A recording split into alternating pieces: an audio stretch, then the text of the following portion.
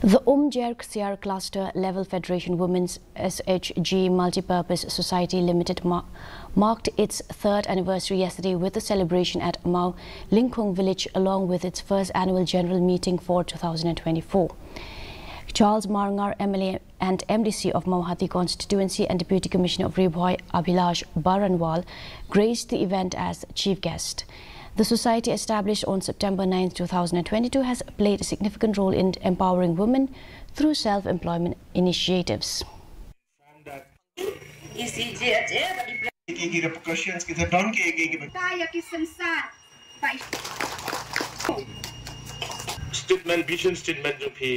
new i hang ne phi don ke ching ang do ban ken ti ke ching ko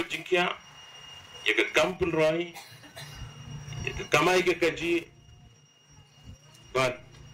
ye ki wei ki wei ye ki emlang ka salang ye ki jing te be ki jing shna ka ne ga dei ka thong ba phi phi bo akhman